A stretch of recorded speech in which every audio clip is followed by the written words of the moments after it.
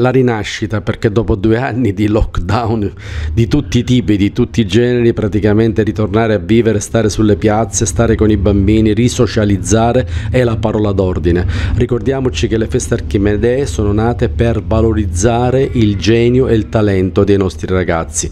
Questi lunghi anni di lockdown hanno fatto e hanno nuociuto molto ai bambini e ai ragazzi, per cui riprendiamoci la nostra strada, riprendiamoci l'aria, riprendiamoci il sole sole. Cosa ci aspetta Carlo Gilistro?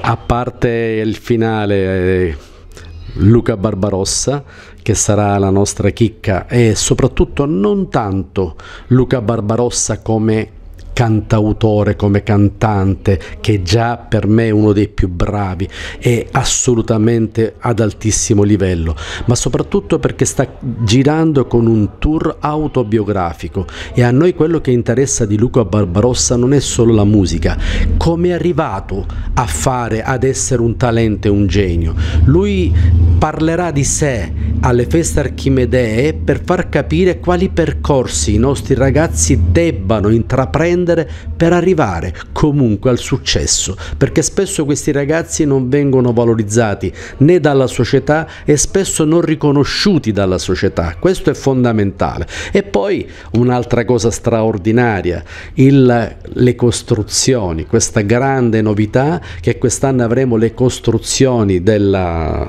famosissima casa di costruzioni, la più famosa al mondo, e, e in Banca d'Italia, fra altre cose, quindi apriremo questo palazzo storico. E poi ancora un'altra cosa, tanti giovani talenti, ma una torneo di scacchi che faremo a Piazza Duomo. Immaginate 35 tavoli di scacchi in cerchio magico a Piazza Duomo con una, una scacchiera gigante. Quindi questa è una cosa che praticamente non dobbiamo farci eh, scappare perché sarà una magia anche di scenografie, una magia di cose belle da scoprire e poi viverla questa, questa nostra ortigia come l'abbiamo fatto in tanti anni.